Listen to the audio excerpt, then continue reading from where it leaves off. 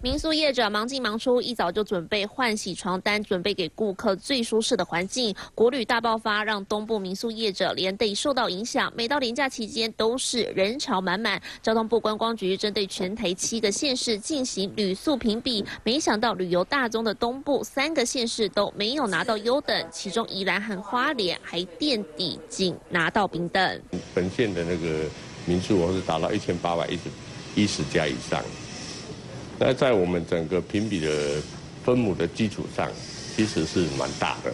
好的，可以听到说，其实花莲评分第一，主要是因为民宿数量本身就比其他县市还要多，因此稽查普及率也相对来得低。其实不止宜兰花莲，另外金门、新竹、彰化、南投也都只有平等。退优的县市则是由高雄、台南、台中和桃园。不过评比的用意也是希望给民众优良的住宿环境，提升国内旅游业者的服务品质。